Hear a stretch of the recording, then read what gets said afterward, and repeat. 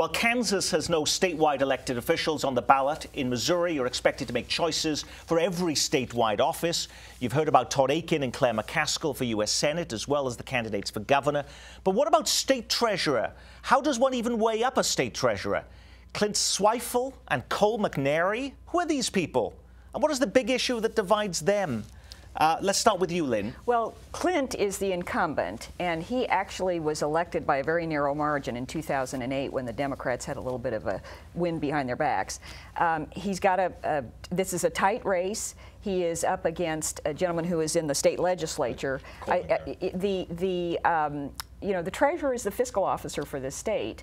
Uh, Clint argues that he's done a lot for um, uh, ensuring that families who are trying to get their kids into college, that they have a good, good program for that. And I think his opponent would like to focus on pension reform. Why should we care about this race, Dave? Well, only because traditionally down ballot races give you some clue as to the rising stars in each party. Because they become the, governors and United States senators, right? But but uh, you know the treasurer's job, kind of like the Secretary of State's job, is largely administrative. And so you need to pick the best administrator, and uh, by and large, people vote party on things like that. Well, the one thing that, they, that the treasurer will do that's very important to Missouri is they manage the state's investment funds, like with pension. And so they're both, the issue that they're really splitting hairs about is transparency and how they'll spend that money. So it is an important decision, especially when we start to see need for pension reform and how those monies are invested. We saw a lot of state treasurers across the country when the market bottomed out in 2008 who had invested that money poorly. So this is an important decision, but one a lot of people don't quite fully understand.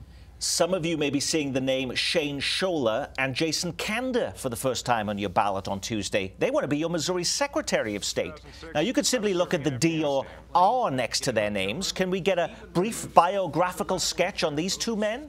Well, Jason really wants to focus on uh, campaign finance reform and ethics. He's very big on that. And he's from Kansas he's, City. And he's the Democrat. And Shane Schoeller, his big thing is uh, photo ID for voting in Missouri.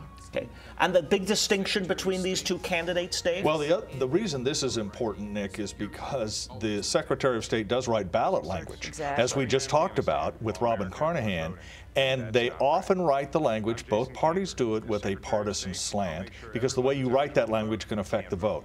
So you, we should pay attention to the winner here. If the Democrat wins, ballot language will be written in a certain way, a Republican potentially the other way court battles will ensue. That, that really is more partisan than, say, the treasurer's Well, and I think Shane ways. has had a lot of backing from Rex Sinquefield, right. who likes to put initiatives on the Missouri ballot. And wants and that will... language written in a way that would be supportive of his, of his efforts. Stacey. Well, and you see the Republican in this race wanting to see it more of a commission that would, would draft this language as opposed to in his office, and therefore maybe making it more ballot-friendly, understandable to people, or more likely to be passed.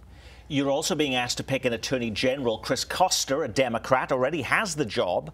Or should you go for someone different? That would be Republican Ed Martin, a former chief of staff to Missouri Governor Matt Blunt. But what kind of job has Chris Koster done as Missouri Attorney General, Stacey? Well, Chris Koster has taken some uh, heat as being Obama's attorney, and, it, and, a lot of it goes back to the uh, the whole fight over the Affordable Care Act. Uh, is a former uh, prosecuting attorney, and, and, he, and, he, says that that, that litigation experience is, is principal to his office. Uh, he also wrote very successful, or his office successful briefs uh, against the Affordable Care Act uh, that the Supreme Court and some appellate courts uh, agreed with Missouri's decision. So, uh, but he, he's come under uh, a lot of fire uh, as the Democrat. How would Ed Martin be different? Well, I think Ed, and I think his work with Matt Blunt showed this, is much more doctrinaire, much more um, attentive to conservative causes. He would, for example, I, I, would assure you, would launch very various legal attempts to repeal parts of the Affordable Care Act, as an example.